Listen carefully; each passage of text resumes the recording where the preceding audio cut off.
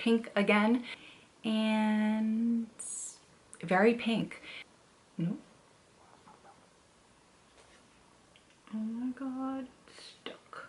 Hi everybody, welcome to my channel. So today's video, I wanted to do a really easy, very pink Valentine's Day look for you guys.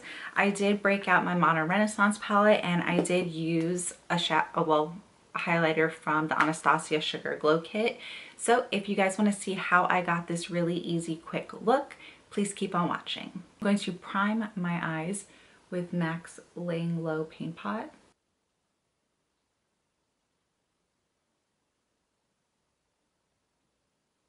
So I'm trying a new contour and highlight palette. This is from The Balm.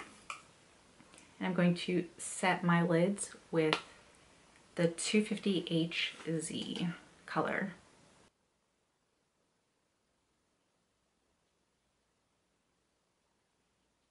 For today's look, I'm going to use the Modern Renaissance palette and I'm going in with a fluffy brush and I'm going to mix together raw sienna and burnt orange and apply this onto my crease. And you guys know I really like taking my crease color and working it into my brows.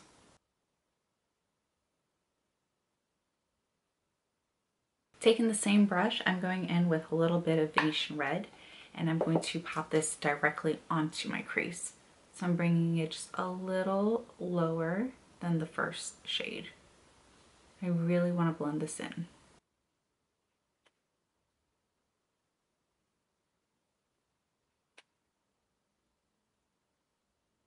So as you can see, because I used a fluffier brush, a lot of the product got onto my eyelids, which I don't mind at all.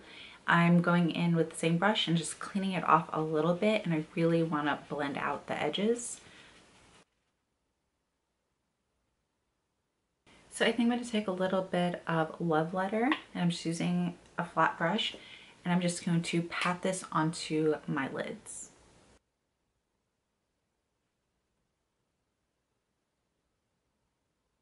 Now going back in with Raw Sienna and Burnt Orange, I'm just taking a Sigma Blending E25 brush and I'm going to start buffing this down onto my lower lash line. And I'm being really generous with this shade.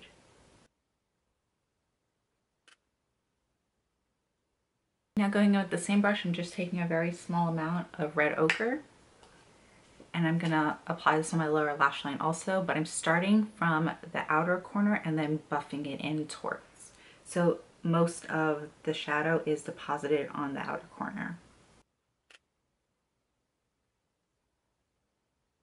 Now I'm going to go in with my Anastasia Sugar Glow Kit and using the same brush that I applied the pink onto my lids, I'm going to I'm to add a little bit of gumdrop. I'm just to pop this right in the center.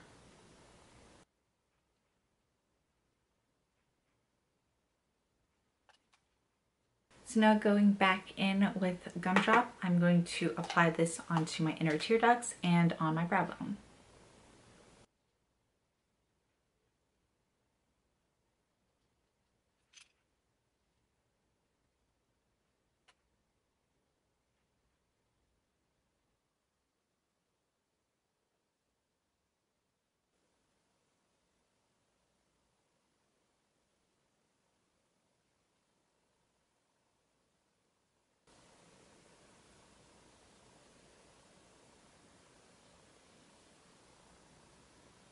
I took my eyeliner off camera, added my mascara, and now I'm going to go back in with red, a little bit of red ochre.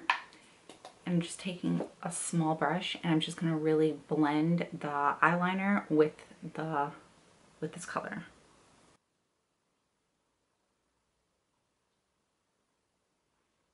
So it gives them more of a smokier, sultry look. So I wanted a little more smokier on the bottom, so I'm going back in with my MAC's Smolder and just running it onto my lower lash line. Then going back in with a little bit of red ochre, blending it out once again.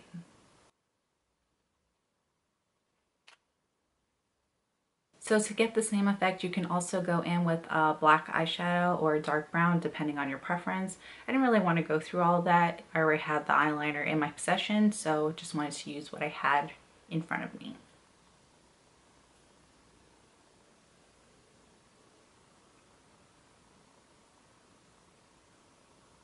So going in with this highlighting shade right here, I'm going to pop this onto my cheekbone.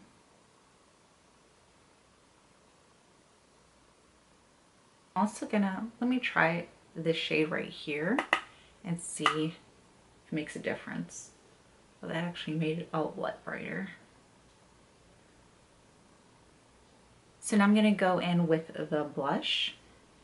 So I'm gonna add this to the apples of my cheek.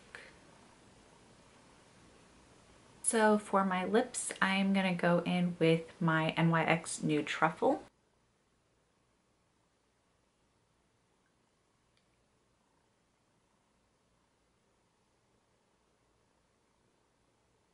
In one of my recent videos, I mixed this combination and I really like the way it turned out. So going in with my NYX soft soft matte lip cream. I'm applying San Paulo and I'm going to mix it with a little bit of London. And I'm just going to tap both of these products on and rub it in with my fingers.